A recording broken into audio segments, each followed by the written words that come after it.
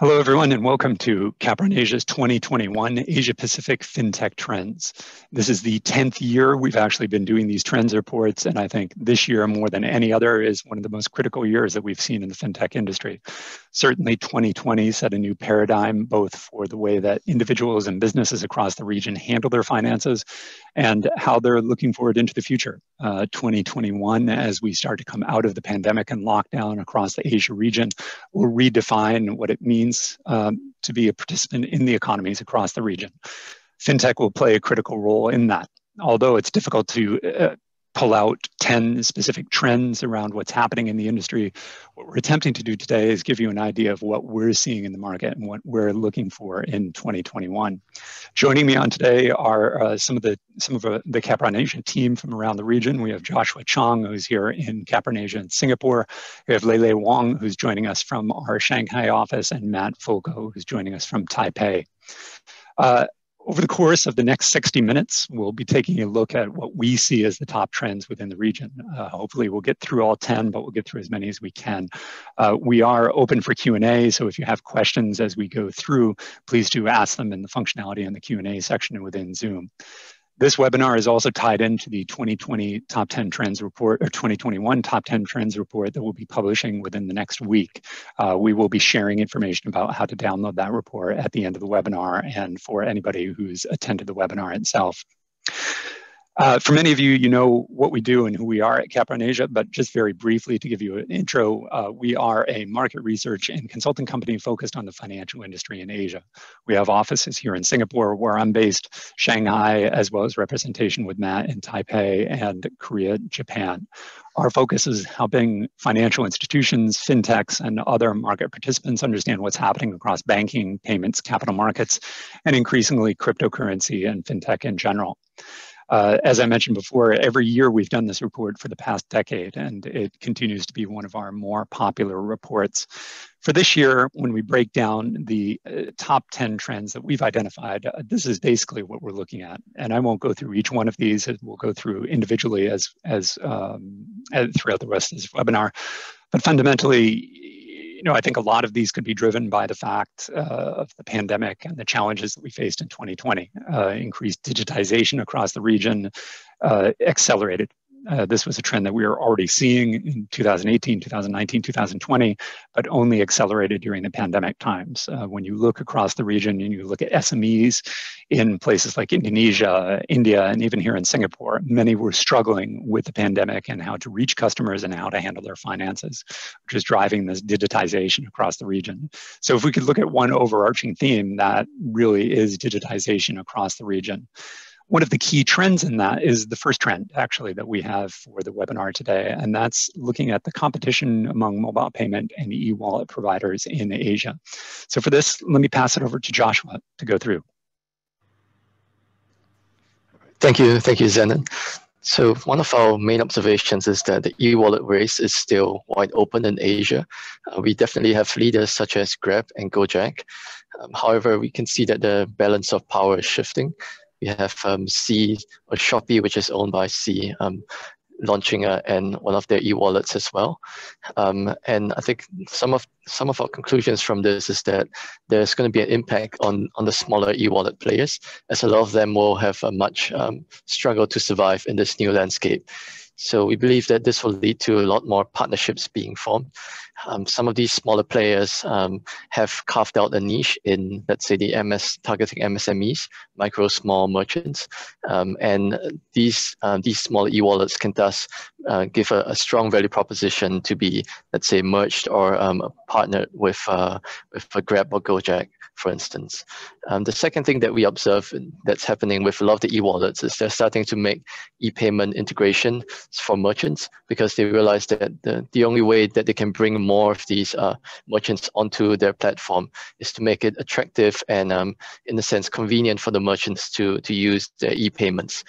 Um, so this has, we have seen a lot of features such as instant settlement um, from Paytm, and all of this helps, um, makes this e-wallet option more attractive for merchants. Uh, finally, on top of that, the e-wallets are also bundling services. We have this idea of a, a super platform, and this is definitely the case where um, additional financial services such as buy now, pay later, um, or even like retail investment management are being added on on top of the regular payment services, um, just to create a more comprehensive ecosystem uh, for users. That's great. Thanks, Joshua. I mean, it, it, when we look at the competitive landscape, do you think there is space for pure play digital wallet players to survive in the market? Also, I think from our from our observations, uh, the pure play e-wallet is no longer a sustainable business model. A lot of these um, smaller e-wallets were thriving on the fact that they could use um, cashbacks and discounts to bring on customers. Um, however, as as consumers realize that you know they're limited with the smaller e-wallets, they don't have the same level of functionality and additional features. A lot of them are no longer um, using it as much. So user retention has dropped a lot for the smaller e-wallets. Um, so definitely they'll have to look for ways to either build and add on services on their own or partner with other um, wallets with more comprehensive services. Yeah, I think that makes a lot of sense, and that kind of matches up with a lot of the research that we're seeing. Um, another question that, that, has come in from um, the audience here.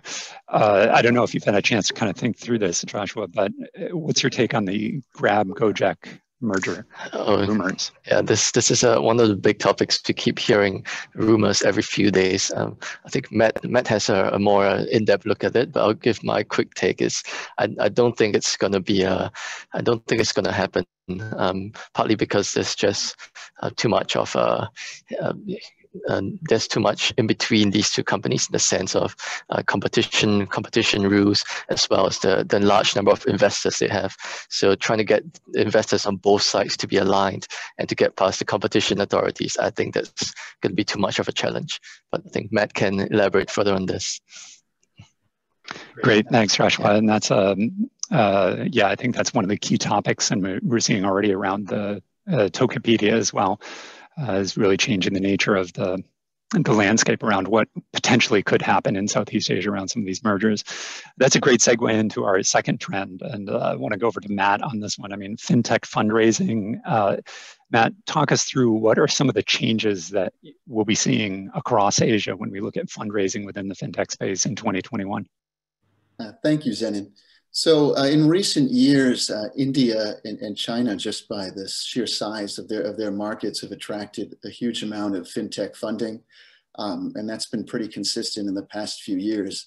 However, uh, in, in 2021, we're going to see a significant change in the, in, because from a regulatory standpoint, uh, both China and India will be less friendly uh, to fintech investment. So looking at China, uh, there's a fintech crackdown that's begun, um, you know, that begun a few years ago, but that really uh, kicked up a notch with uh, the nixing of Ant Group's IPO. Uh, and what that means is that fintechs are going to increasingly be regulated like banks. Uh, they're not going to have the same growth prospects. Uh, their margins will be pinched.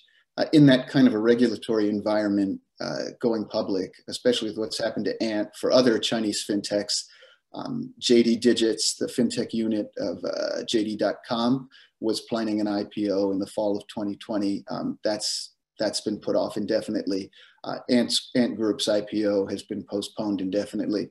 So for as long as that crackdown is going on in China, there's going to be a chill uh, in funding for fintechs in China. Looking at India, uh, it's still quite a dynamic environment. Uh, there's strong demand for digibanking services uh, fierce competition. Uh, but for foreign tech giants who've so far played a, an enormous role in developing the fintech sector in India, uh, it's becoming less friendly. Uh, and whether you're American or you're Chinese or otherwise, uh, in 2021, you'll find that it is no longer as welcoming as it was before. Uh, we already saw in 2020, uh, fi uh, finally, WhatsApp Pay was able to launch, but only to a small portion. I think it was about 5% of all of its users in India. And it has, um, you know, huge number, three, 300, more than 400 million. And still only a, a small number of those users uh, currently have access under the formal launch. Um, so what we might see in, what we expect to see in India in the future is more, more uh, tie-ups between those uh, foreign the foreign fintech giants and or foreign tech giants rather and and local firms to sort of gain a strong foothold in that market looking at Southeast Asia, uh, Singapore and India uh, are expected to be uh, the hotspots for fintech funding in 2021. Uh, Singapore has attracted about 40, about 40% of uh, the Southeast Asia fintechs are, are based in Singapore already. It's attracted a, a huge amount of funding, certainly in recent years, and the reg from the regulatory environment or the ability to raise capital, the ecosystem, the geographic positioning, um, Singapore is, is strengthening and cementing its position as the key fintech hub in Southeast Asia. Um, looking at, at Indonesia, that's a very different market. Um, it's a huge market, the, the third largest um, by population after uh, China and India in Southeast Asia. And that is going to be a focus for investors, uh, both from China, uh, the US, and otherwise in 2021 uh, given that China's environment and India's environment are no longer as uh, hospitable. Um, Interesting. Yeah, I think this is uh, when we look at fintech, fin, fintech fundraising and and M and A just in general. I, I don't know, Matt, if you had seen this morning, but one of the big pieces of news was the the Visa Plaid uh, acquisition being called off, and so Plaid will continue to kind of go it alone. Uh, and and a lot of that, I mean, publicly was a bit down to regulatory challenges because it, it, turned out to be a much longer process to get that acquisition approved. So it slowed down. So it's it's it's still in, instructive to see, you know, how how regulation plays a part in this. I mean, going back to the question, maybe we can start off with the grab Gojek question uh, that that was posed to. Um, to Josh, I mean, what what's your take on that? Do you do you think that there are legs for that? Within Southeast Asia? So I think that the, the, there are a few fundamental uh, challenges with the Grab Gojek merger. Uh, one of those is the redundancy of, of the services. So the argument behind it is they'd be stronger together if they if they put their ride hailing and their food delivery and of course uh, their their fintech services together. But there's also a redundancy there um, that I don't think it, by putting those services together, they necessarily will be stronger than Sea Group. Uh, Sea Group has an ecosystem that's stickier. Uh, you, you have gaming uh, and you have e-commerce in there, uh, which obviously we've seen Shopee surging in Indonesia. And uh, I don't think that by putting the uh, Grab and Gojek's platforms together that you'll necessarily have something that's stronger than, than what Shopee has at the moment the, the other possibility that we've heard about in recent, uh, and, and the other issue from, from a regulatory standpoint is antitrust. Uh, Indonesia, while still being friendlier, uh, certainly to outside investors uh, than, than India or China, is would be wary of. Um, they would certainly Indonesian regulators would be wary of uh, Grab having such a, a dominant position uh, in the Indonesian market, especially as it's already dominant elsewhere uh, in Southeast Asia. That wouldn't necessarily be better for consumers if, if or, or businesses if they're merchants if there's a monopoly. Uh, and finally, there's an issue with um, with workers in Indonesia who are concerned about what would happen to them. Uh, you know, ride hailing from from the drivers and, and then also those uh, delivering food, so drivers of vehicles. Um, they'd be concerned uh, what would happen in the event of a, a Grab Gojek merger with their with their employment mm. Yeah, so that's a good point. From all those viewpoints, as well as investors uh, questioning how profitable it would be. So there's there's yep. as, as mentioned. So I think there are a lot of roadblocks in the way of that. Yeah, that that that makes sense. I mean, it's um, a, a lot of overlapping services on that, so it's a bit unclear exactly how that will be, how that will play out. Um, uh, another question came in from the audience here. Um, going back to China and Ant's IPO, um, the question is from Helen. Uh, how can you predict that Ant's IPO would not be approved in short term? Um, if they're satisfying all of the regulators' requirements, uh, why would the, the IPO not go forward? Uh, Matt, do you have any do you have any thoughts on that? Well, from what we've seen so far, uh, the situation for Ant uh, looks to be quite challenging. And uh, given given the, the politics at play here in China, uh, the idea that Ant's IPO would be fast tracked, um, you know, doesn't look feasible at this moment. Um, we have to really look and see what what kind of signals we're getting from regulators and what we've been getting up until now is that Ant needs to return to its roots in payments. It needs to satisfy new capitalization requirements. Um, it needs to do a number of things. Uh, of course, if all those were approved um, expeditiously, uh, then, then perhaps an IPO could go forward. But then, of course, the question is what kind of valuation you're going to be looking at when profit margins are not what they were under the old business model. Uh, but we'd be hesitant to, to say that the IPO will, will happen in the short term given the, the regulatory environment at the moment.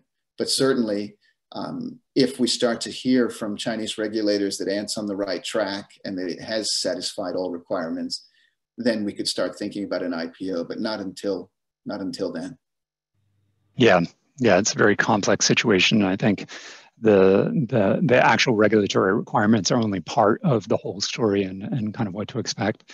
Great, thanks, Matt. Um, staying on the topic of China and in particular uh, Ant Group, uh, Lele, I want to come over to you and and I remember you and I experienced this for the first time uh, a number of years ago when we were visiting Ant Financial in Hangzhou. Uh, facial recognition payment. Uh, can you tell us a little bit more about what this is and, and what it means for the future in 2021?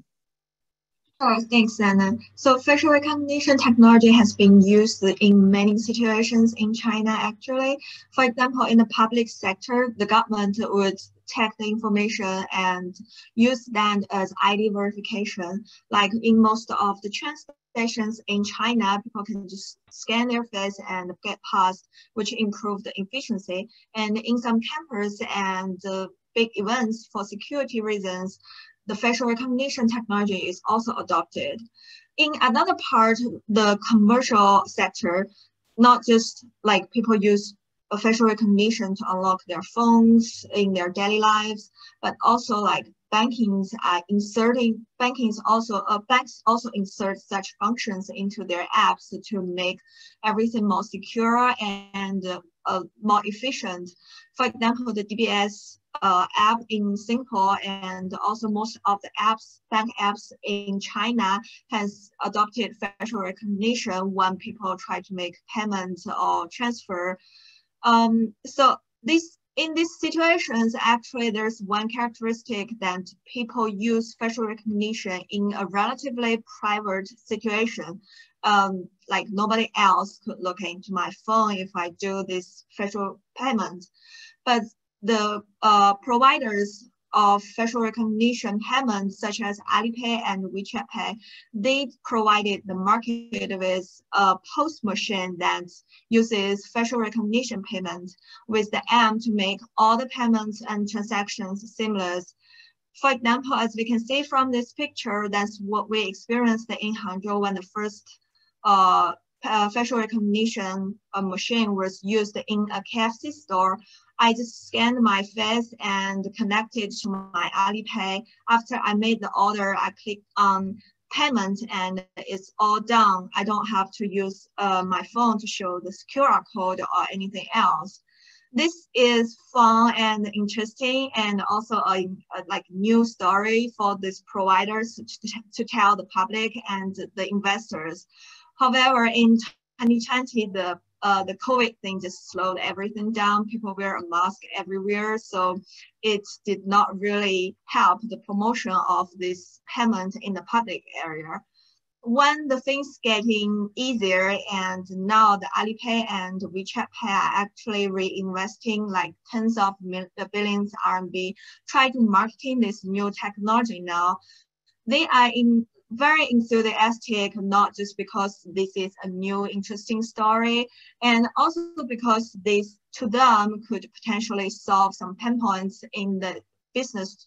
In the business, for example, what if people forget to bring their phone or their phone just goes out of battery, nobody can make the payment, but with the face, people can just make all the deals in a second. That's what they claim to be the benefits of facial recognition payment in the retail market. However, there are two other very important parts, parties in the whole business chain, the merchants and the customers. For merchants, why would they spend 200 to 300 US dollar to replace or install a new POS machine while their existing POS machine can already deal with the QR payment and all different bank card payments. It's just a cost to the, it's, it's extra cost to their business. To customers, there are more reasons that they need to worry about facial recognition payment. They are worried about taking a photo in the public if they get shy and everyone else can see it. And also the more, more important thing is what about the data security? They, people are worried about who would hold those photos and where are they stored? Where would these photos be used? And as it's just unique, what if someone else get this information and conduct criminals? these worries are not coming from nowhere as there were already cases that criminals just stole or bought illegal uh, database and they generate 3D image from all those facial photos. They use these 3D images to uh, apply for loans and set up different payment account online. They get the money and leaving all the debt to the information holder, uh, original holder. So all those concerns are not solved yet, and uh, the cost to the merchants is clear there. So if, even if in the uh, at this stage and in the short future, the providers would continue their efforts to promote this technology in public uh, retail payment area. The uh, concerns and the worries from co consumers and merchants make it a long way to really make facial payments popular in China. Thanks. Yeah, that, that's really interesting. I mean, I, I remember when we we first tried this technology at, at KFC. I think it was only open to uh, Chinese nationals, so you were the one to test it out. And I, I remember just feeling uncomfortable about the idea of a machine taking a photo of my face. And I think you know, Alipay and Ant Group did a lot to promote this technology, but you know, the application, as you said, in kind of public settings is potentially a little bit limited. I mean, if I think about the use case of, um, you know, if, if all of a sudden my phone runs out of batteries or I lose my phone, my my my first concern is not buying fried chicken necessarily. It's it's kind of replacing the battery on my phone. So I, would be a little bit concerned with that. And then you know, it, it's a good point. You know, the when here here in Singapore as an example, I mean you can use your phone to pay on the the metro, and and so my phone uses a fingerprint uh, technology, and so I can just unlock it with my fingerprint. Uh, but my wife's phone is is an iPhone that know the the most recent iteration gave did away with fingerprint and now is only facial recognition. But of course, you can't use that with a mask. So she needs to unlock and put a code in, which is less convenient. Uh, so to a certain extent, the market is is working against facial recognition as well in that perspective. Um, Lele, I mean, what does what does this mean for biometrics in general? I mean, eh, you, you kind of separated the the private versus the public scenarios. I mean, we use it in private for onboarding and KYC cases, and then public could be kind of limited. But what about other forms of biometrics like like fingerprints? I mean, is that continuing in China? What do we see in 2021 for those other forms of biometric uh, authentication and use cases? Yeah, as you just mentioned, that fingerprint is actually a very convenient way to make payment or unlock your phone. So it's also just convenient and mostly adopted by Chinese here. Fingerprint is different from facial recognition payment as fingerprint is the information is stored in your phone and it's difficult to du duplicate the information or get it stolen. However, the facial recognition has been proved that if the data protection is not good enough, the image might, be, might, uh, may get leaked and others may take advantage of them to conduct criminals.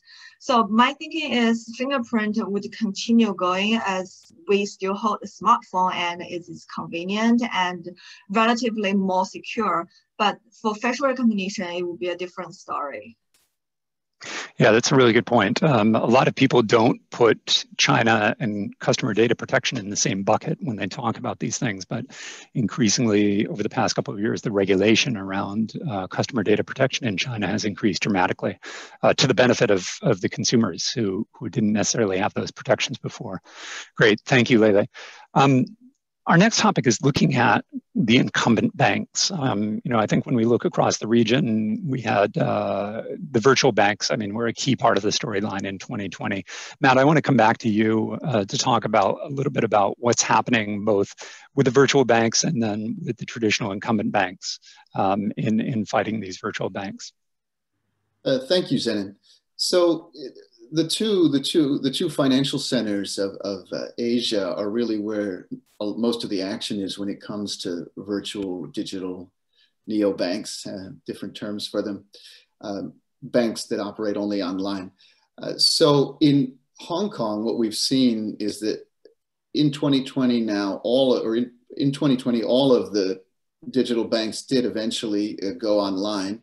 And in order to attract customers, they offered very high interest rates. Um, they really pushed their 24 7 digital service uh, and emphasized the difference between what they're offering and traditional high fees and customer service that was not always up to customer standards at in, incumbent banks. Uh, I think if you look at Hong Kong, it's interesting because uh, there's so many of these uh, virtual banks that, that have come online, but in terms of what exactly they're offering that, that's better than uh, incumbents, that, that remains to be seen. Uh, however, incumbents did face a challenge that those in Singapore did not, in that the digital banks were online at, at COVID when Hong Kong was in economic recession um, while in Singapore's case, they were only approved in December. Uh, so because the virtual bank process started a little earlier in Hong Kong, uh, we've seen incumbent banks there start to fight back a little bit earlier. So uh, certainly for HSBC, uh, one of Hong Kong's largest uh, players, uh, they reduced fees starting in 2019 and uh, in fact, in uh, very recently, they eliminated fees on 26 general banking and transaction services for 4 million customers uh, in Hong Kong. And that was in their, uh, they, they, officially that was due to uh, COVID-19 and the effect that was having on customers, uh, but certainly the, against the backdrop of digital banks coming online and highlighting the fact that they're offering contactless payments and uh, minimal minimal contact, face-to-face contact at a time when people are, are avoiding that uh, due to public health concerns and, and regulations. Um, so for those banks that, that can uh, afford to make those kind of investments, uh, incumbent banks such as HSBC and others in Singapore, the challenge from digital banks perhaps is, is um, not, not something to be so concerned about but certainly something good that can that can increase competition in the market. Uh, if we look at Singapore, uh, their their incumbent banks had an opportunity in 2020 uh, to fast track digitization, uh, while the digital banks were still waiting to be approved. Uh, so we saw that with uh, DBS, with um, certainly with UOB and, and OCBC. In fact, um, earlier in, in 2020, actually for the first time brought all their wealth advisory services online and out of necessity and they found that uh, certainly it was it was certainly workable and and the direction they're going to take that business in the future. So i think regardless of um, how much pressure the the incumbents face from the challengers the direction for banking is increasingly online. One thing we need to keep in mind uh, as we're looking at this competition shaping up is that incumbent banks still benefit enormously from trust. Digital banks uh, have technology, have, have advanced technology, although they don't have a, a monopoly on that, as, as, DBS has reminded us.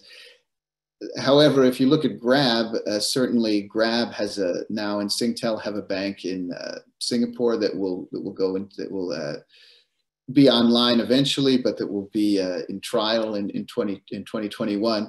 Uh, but Grab has had a number of data breaches uh, in recent years for which the MAS has fined it. Uh, and that's, that's something that has to be taken into consideration uh, when we're looking at all the hype around digital banks and customers switching over. Um, if you look at Ant Group, uh, they obviously had a strong business model in, in China for lending, and they're focused on SME lending in Singapore, and they did indeed win the license. Uh, but they're experiencing regulatory problems in, in China that are affecting their business model significantly. So you have to think about if customers have a choice between and, and, and either traditional banks or other digital banks, are they going to pick the bank that appears to have serious trouble uh, in its home market?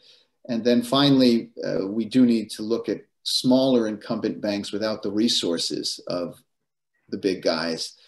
Those are the ones who, who are most vulnerable to disruption by digital banks simply because the value proposition there may not be so compelling if, if the digital banks can offer uh, favorable rates to SMEs who are underserved. So yeah. certainly smaller incumbents do need to think about how to fend off this challenge from the digital upstarts as well as well as the larger one, the larger banks who've already started that process. Yeah, yeah, that that makes sense. I mean, along those lines, Matt, we're getting a bunch of questions on this one. It must be one of our more popular topics thus far, anyways. Um, one of the one of the questions is around the sustainability of some of the competitive um, uh, products that some of these banks are putting in place. I mean, if we look at uh, Hong Kong as an example, I mean, we've seen various banks offering uh, limited time, but you know, high interest up to six percent deposits. So you can put up to twenty-five thousand. I think it was twenty-five thousand Hong Kong or U.S. away and get six percent for a number of months. Uh, we've seen others kind of go with fee-free banking as a as a trial or as a carrot to bring people in. Um, one of the challenges in that is, you know, how long can you subsidize your products and services? And what what's your thinking on what these banks, um, I mean, maybe just let's just look at Hong Kong as an example. What's your thinking on how these digital banks are going to be successful? I mean, what do they need to, what are the key things they need to hit to be successful going forward? So in, in, you've got eight eight virtual banks uh, in, in, Hong Kong, and many of them, of course, are linked, um, you know, to Chinese uh, Chinese banks or Chinese tech giants because they're feeding into the, you know, in the future the the Greater Bay Area and, and looking at, at, that, which is a huge market. Uh, I think that when you're looking at these uh, digital banks, their first their their first goal is to try to onboard customers as soon as possible, as quickly as possible, to build up some scale, to build up that deposit base. So you you have, uh, as you mentioned, Zen, in these high high interest rates, um, you know, for a temporary period of time. I think ZA Bank offered 6.5%, but only to the first, uh, it might have been the first 50 customers, just, just something to kind of generate attention. Um, we had WeLab, uh, of course, which uh, initially offered 8% cash back um, uh, up to a certain amount uh, for, for transactions. Uh, this, this sort of um, strategy is great for marketing and to and to generate a buzz around your bank, but it's obviously not sustainable from a from a fiscal standpoint. So the, the digital banks need to look at serving segments of the market that are historically underserved. So I think obviously SMEs in, in Singapore and Hong Kong are certainly one one segment where there where there's opportunity to uh, to challenge the incumbents. And then obviously we hear a lot about millennials and, and, and younger people. Um, but the question really is, are those people going to put, make a digital bank their primary source where they, where they put most of their money? Um, you know, the, the, if, if digital banks are able to become a primary account for, for retail bank users uh, in Hong Kong and Singapore and have their sal- if salaries can be paid into there, you know that that would that would be significant but it won't be easy when you have banks uh, you know such as DBS, uh, OCBC, UOB, which are digitally adroit and you're conscious of this challenge and have customer trust. And similarly, banks such as HSBC in Hong Kong that enjoy a similar level of customer trust and are are digitally savvy.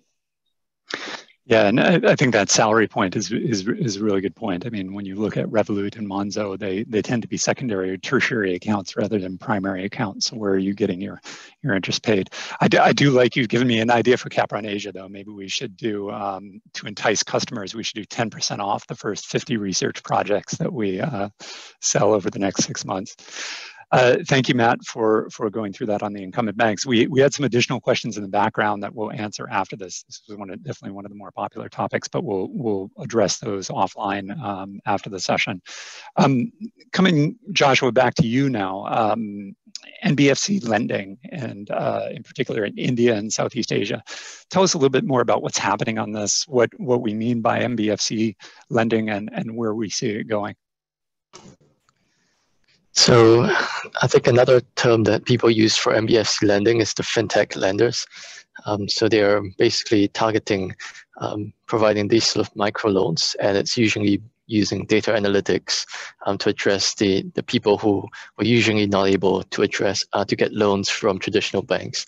And in the case of India, the MSMEs have become a huge target uh, for these fintech lenders, mainly because a lot of them have um, have sort of a sustainable track record in terms of their uh, business sales and inventory, and they have been paying their suppliers on time. But uh, for whatever reason, mainly because the revenue is too low or um, they're just not able to get loans from traditional banks. And this is where the fintech lenders have stepped in.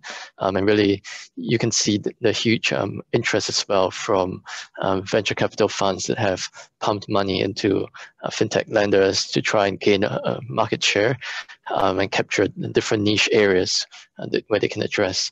So I think this uh, India is definitely going to be an area of a huge competition in, in the next few years uh, when it comes to fintech lending. And I think it'll be interesting to see uh, what sort of new credit products uh, come into play as um, the different lenders try and attract more um, more of the MSMEs. And when we turn our attention to Southeast Asia, we see that um, this fintech lending is also gaining pace, but at a much um, at a much slower rate compared to India. I think one of the reasons for this is that um, in Asia you have a more geographically um, spread out uh, continent. So, you know, in different areas, let's say in uh, Indonesia compared to Philippines, it's a, a different sort of approach um, that the lender has to take. And on top of that, you have really diverse um, cultural and regulatory environments in, in each of these different countries. So the, the hyper-localization in, within Southeast Asia makes it a lot harder for a fintech lender to sort of address the region as a whole. So they would need a, a multi-country st strategy. Um, and all of that sort of just makes it a little bit more challenging for, for new entrants. So the fintech lenders in Southeast Asia tend to be um, just focused on their local market, which makes it, in a sense, um, a lot less, it's a lot smaller, uh, relatively speaking.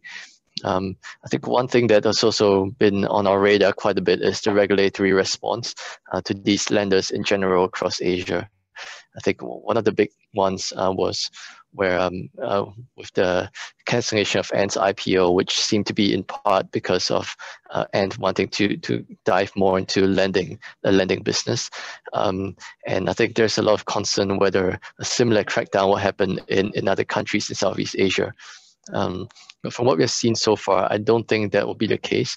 Uh, for instance, if you look at Indonesia, which is one of the uh, the biggest markets in Southeast Asia for, for this sort of lending, uh, the OJ, OJK, which is their um, financial authority there, they announced a tightening of regulations. And on the surface, uh, this seems to be um, a, a, negative sign for fintech lending. But when you read more into the, the statement that they gave and the details they provided, um, ultimately they still predicted a growth rate in lending and increase in the amount of uh, lending that will happen over the next two, three years. So I think our takeaway from this is that uh, the tightening of regulations is perhaps more of a, a superficial approach to give the, the impression um, that they are they'll be looking, watching out for uh, what, keeping an eye on the lenders. But ultimately, you know, economic circumstances will take precedence in this case, especially when you're dealing with a pandemic that has affected lots of businesses. Yeah, those are really good points. I mean, you you think about the regulatory response in traditional times, and it seems to make a lot of sense. But in these pandemic times, it's a little bit more challenging. Um, Joshua, just uh, one question on this. I mean, you you mentioned uh, VCs. We've talked about Indonesia. Uh, are there any kind of hidden gems in Southeast Asia? I mean, which countries should investors be looking at as uh, having the future of NBFC lending? Right. I think India, uh, sorry, Indonesia is definitely one of the largest markets there. Um, and I think the, the main rationale behind uh, investing in Indonesia is that any sort of credit data gathered from um, from the users or MSMEs over there can be sort of applied to other countries in the region. Um, aside from Indonesia, I think Vietnam is actually one of the countries which is often overlooked, um, but they have um, they have quite a liberal or accepting attitude towards um, fintech or even cryptocurrencies and, and, lending. So that's an area where um, an investor who's looking to um, to dive into fintech lending will probably get more leeway um, and acceptance in uh, from economic standpoint as well as the regulatory standpoint. Great, thanks, Joshua. Yeah, those are kind of like the, almost the second tier markets in Southeast Asia, but increasingly important markets.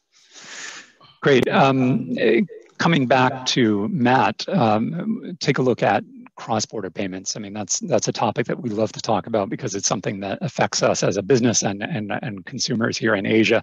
Tell us a little bit more about what we're going to see in 2021 in cross-border payments. So certainly, uh, the, uh, it, uh, the the fintech disruptors will certainly be proactive uh, in, in 2021, Zennon. Um, we expect to see more intense competition, um, but flows will undulate. Uh, one area, um, and, and we do believe that those fintechs challenging or trying to certainly trying to challenge SWIFT to build alternative payment rails will, will continue to do so and, and look to form strategic partnerships when they can. Uh, looking at cross-border e-commerce, one of the fintech players who's been quite aggressive in this space uh, in, uh, globally, but increasingly in Asia is Rapyd. Um, they recently expanded into Korea, uh, South Korea, and uh, Thailand, and working with local partners. So we expect to see Rapyd continue to make strides in, in that regard. Um, obviously, the biggest market in Asia is China for cross-border e-commerce, and certainly it will continue to grow. Uh, but there's a fintech crackdown going on that uh, we mentioned earlier that certainly was not happening uh, in years past.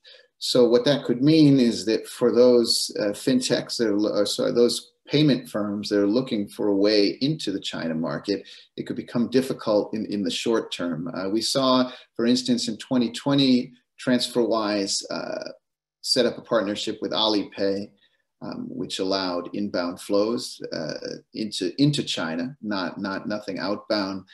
Uh, that that sort of partnership uh, in the long term, we expect uh, still there's still potential, but as long as China's fintech crackdown is going on, um, probably less opportunity for those kind of partnerships and uh, for foreign, certainly for foreign payment firms to, to tap the China market. Uh, looking at remittances, uh, that's been a, a, growing area of cross-border payments in, in, recent years, but uh, because of the pandemic, we expect remittances will, will fall across Asia in 2021. Uh, and that, however, the, the, the, three largest markets of uh, China and India and uh, the Philippines will, will remain the same, but none of them, we expect none of them to grow in, in 2021 one thing to keep in mind is the pandemic response in Indonesia uh, has, has not been the best in, in Southeast Asia. And actually, Malaysia and then Taiwan both uh, put bans on Indonesian migrants entering the country uh, in, in the fall of 2020 that, that remain in place uh, for the time being. So that that certainly in the short term will affect remittances uh, into Indonesia. And the, the sooner that Indonesia is able to get uh, the pandemic under control, um, the sooner uh, remittances can grow again in that market. However, in the long term, certainly we saw in late 2020, um, TransferWise announced you could send money from 80 countries, uh, sorry, to Indonesia, from Indonesia to 80 countries. Uh, and they were, of course, saying that it was at a rate two times cheaper than banks. So they're certainly one of the biggest players in the space and bullish on Indonesia in the long term. So these uh, certainly, but, but for the short term, uh, remittances will fall. Um, looking at the challenges to SWIFT, uh, Airwallex has been one of the players that's been most aggressive in this space. And I, they mentioned uh, they're predicting now gross profits of, of 100 million uh, in 2021. Uh, we should keep in mind they didn't say net income. Um, and, and, what happens when they subtract their costs and what, what the numbers will look like might, might be a little bit different than that. Um, and they'll be pushing into the US market, uh, in, uh, they say, uh, in the first quarter of 2021. another thing to keep in mind is they are affiliated with Tencent. Tencent invested and headquartered in Hong Kong. So if Air Airwallex were to become a large player in the US, it might be on the the radar screen of U.S. regulators, uh, given given the U.S. U.S.-China trade and tech tensions. Um, as far another interesting potential challenge to SWIFT could come from uh, the pay, PayNow and PromptPay. Um, of course, at, at Singapore, uh, Singapore's recent FinTech Festival, uh, it was mentioned that uh, by mid-year, registered users uh, will be able to send money uh, from either to and from Singapore and Thailand, uh, just with, with a mobile number. And banks will be the initial participants in that, but fintechs uh, in the future should will, will likely be allowed to join. So that's another thing for Swift to keep in mind. However, we should not count Swift out. It's obviously a huge player in this space. It's processing much more, um, you know, cross-border flows than any of these uh, fintech upstarts. And we, we know that SWIFT certainly has um, talked about a two year plan that it plans to implement uh, in which the company will transition from financial messaging uh, to more comprehensive uh, transaction management services. Um, and their goal, of course, is to, to speed things up because that's one of the, one of the complaints uh, from, from users. And certainly those of us who've used uh, alternative payment rails to send money can, can vouch for the fact that, that it could be swift, uh, faster than the typical uh, bank transfer using SWIFT. Um, but once again, we need to keep in mind trust, uh, the trust that banks enjoy, the trust that SWIFT uh, certainly has, and that, you know, how many companies, uh, certainly on the corporate side, would be willing to use some of these alternative payment providers for, uh, for transfers that are in the millions billions of US dollars. Uh, that's something to keep in mind. Yeah, that's a good point. I mean, just talking about Swift for a minute, and we've gotten um, a couple of questions about this in the in the background as you've been talking, Matt. Um, I mean, when we look at the recent Swift history, I mean, one of the big products obviously they've launched is GPI, and and one of the pushes for that was Ripple, and um, you know its push into kind of being uh, trying to move towards being a, the Swift replacement. Um, one of the things around Ripple is obviously the cryptocurrency or what they're calling on-demand liquidity, um, XRP.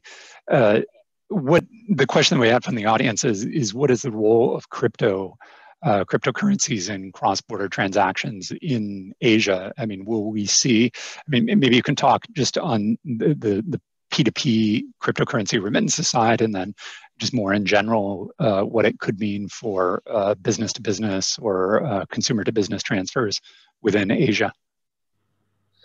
Well, I think it's certainly it's certainly a growing a growing area, uh, but we need to look at you know to what degree has it has it been accepted by by regulators by central banks into the the mainstream financial system. Uh, you know, certainly um, we'll talk about that CBDCs uh, a little bit later. Uh, China is certainly moving in that direction, but it, it doesn't seem at this point uh, that that, crypt, that crypto is going to be uh, is going to pose a challenge uh, to to existing flows. Uh, not not not at this point.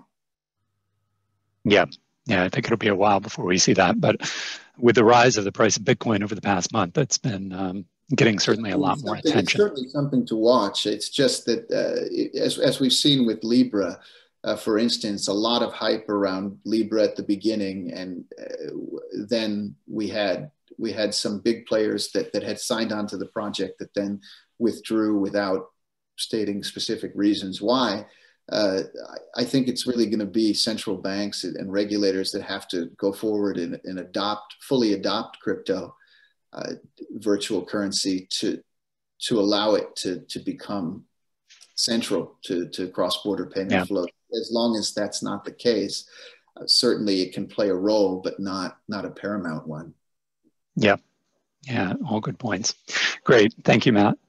Um, Lele, I want to come back to you and and and potentially, you know, it, it beyond the price of Bitcoin, one of the topics that's been gaining a lot of um, attention over the past couple months is obviously everything that's happened with Ant Group, the postponed uh, indefinitely IPO. Um, you know, we we've seen this TechFin to fintech uh, transition. Uh, can you shed a little bit more light on what's happening around regulation in China around fintech and what that means going forward? Sure, thanks, Anna. So we've been mentioning Ant Group uh, many times all through the whole webinar as definitely it is a, a very big representative of the TechFin of fintech industry in China. So um, the uh, the the fintech uh, fintech became TechFin according to Ant Group in a few years ago as they claim that they are going to provide financial technologies to support financial services instead of they are doing financial services themselves. There was like a relatively clear line between technology support and financial services at that time when they started promoting themselves as such, along with all other fintech platforms, as they think that if they provide technologies or the, the uh, clients access to the financial institutions such as banks or internet loan companies, they should be uh, considered as a technology provider instead of a financial service provider. This idea was brought by Ant and also in the following years, they tried to conduct them, but the line between technology support and financial service became more and more unclear. For example, in a joint lending uh, model between fintech and a bank, the fintech platform would perform in every process of the whole uh, loan issuance. For example, from acquiring the clients and conducting the risk control uh, analysis, uh, issuing the loans after, after loan maintenance, and also reporting to the financial institutions about the results, fintech platform or TechFin platform actually play uh, are involved in every part of the whole process. On the other side, banks are involved in providing the most of the capitals, conducting internal risk control process as required by the regulators, and collecting interest as well as paying those platforms certain fees as a service fee. Indeed, when we look at those business behaviors, both banks and the companies are doing what a banking would be doing, a financial services, instead of a pure technology services, according to uh, as claimed to these platforms. So as they grow bigger and bigger, actually dur during the uh, development of their business, the regulator, the regulators held a wait and see attitude to encourage innova innovation as services to SMEs and individuals were actually blank in China for many years. But the caps of P2P lending and the growing uh, uh, potential risk from the lending business of uh, from Ant or other uh, companies actually brought uh, concerns to these regulators. As we can see that in 2017, the regulators has started shutting down all the P2P lendings because of the high risk and no regulation. And we can, after, after the Jack Ma's speech at the Bund, fund, the IPO got, uh, and IPO got pulled and the regulators launched a new uh, draft policy um, tighten the micro lending business to those internet loans companies and they try to control the risk, which generated a big change in the regulation environment for the financial uh, for the financial uh, industry and these fintech companies. And later, the regulators rectify those companies to uh, to uh, to to return back to their original business says. So they either gonna be doing financial services and get regulated as financial institutions, or they can stay closer to the TechFin idea, which means they provide technology support to the financial banks instead of getting involved in any part of the financial services and become a financial service provider. So as for and as uh, we uh, we discussed that before in the Q&A, but to uh, to uh, from our opinion, so it will either become a TechFin or a fintech. So being a TechFin would be uh, would definitely shrinking their would definitely shrink their business as they are not going to be involved in financial services as directly as before and they provide technology support. If they want to stick to the fintech idea, which means they will need to set up a separate business body to run all those financial related services such as wealth management, and lending, uh, uh, invest, uh, uh, investment and such products. So they will face regulations like banks, which would have higher requirements on the capital requirement, on their risk control process, on their reporting process. What is more, uh, from these uh, requirements of the fintech platforms, the SME incumbents would get affected too. Like before they work with Ant Group, they can easily access the customers from every corner of the nation.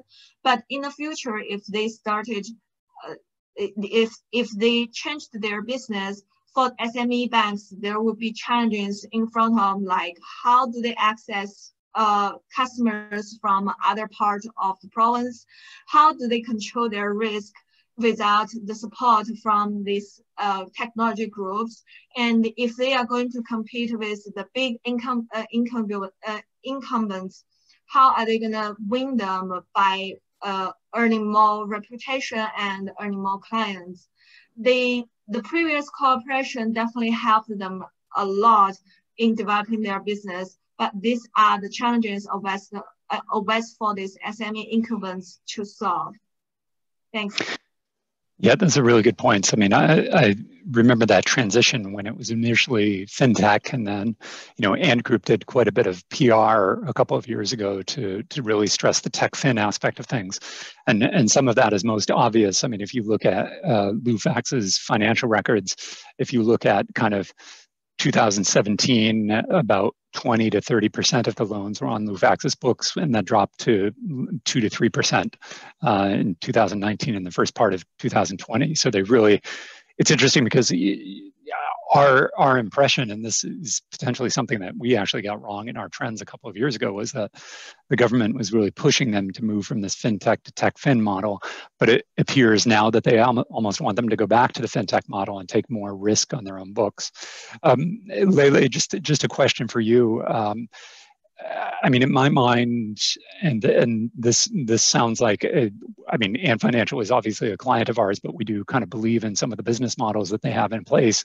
I mean, they've done so much for bringing people into the financial ecosystem, and we've written about this in reports previously. Uh, you know, what prompted the government to to weigh that balance? Because it seems like in that wait and see time, um, the benefits far outweighed any of the risks. But now we're getting to the point where the government seems to think that the risks outweigh the benefits. And, and so one of the challenges in this is that, you know, the literally millions of SMEs and individuals that have relied on these digital platforms like Ant Group and Lufax for lending may have to go back to traditional channels or uh, less legal forms of borrowing money. I mean, what what do you think prompted that change, and and how has that affected how the government thinks about some of these platforms? So definitely, the business itself has potential risk, as uh, well. Before there was just no uh, or like near nearly zero services for individuals or SMEs to conduct to get loans when they need to. So the step in from these fintech platforms along with their cooperation with other banks actually did good for SMEs or individuals to get like certain like consumer loans or business loans to develop their own business or fulfill their needs when necessary. Um, it's just for after years of development and after years of the leverage, the uh, fintech platforms has developed, the government realized that if the there is some crack, I um I don't mean that there definitely will be, but just possibly if that happens, there would be a big like risk to the financial industry. And because these platforms only take like one or two percent of the total capital, all the risk will be left to the banks, and the banks' risk would definitely lead to the loss of the residents because they deposit money into the banks. So to avoid such big risk, and at this moment, there's also some unwise ideas about do young people really consume too much or too ahead of time? To so I think from the two sides, the financial risk and to help people to establish a more reasonable attitude to consumption, the government decided that here now is the time to step in and get everything to a better track. Great, thanks, Lele. Um, we're we're only through 70 of these trends. We've got three more left, but I think in uh, we're we're hitting the end of the time we have for this webinar. So um, we'll we'll pause it here, and then uh, you know please do we encourage you to uh, download the report when it's available. Again, everybody who's registered for the webinar will send you a note about how to access that please as well feel free to reach out to any one of us um, about anything that we talked about today, any follow-up questions you had. We, we had some comments and questions in the background that we didn't have a chance to answer, uh, but we will come back and, and answer those in due course. Um, thank you so much for attending today. Thank you as well to um, our other panelists and co-workers here at Kapronasia. We're pleased to you know, bring this trends report to you again for, again, the 10th year that we've been doing this. Uh, it will be available in the next week. I hope you found the content today very valuable. And uh, we look forward to speaking to you again and seeing you soon on another Kapronasia webinar. Thank you.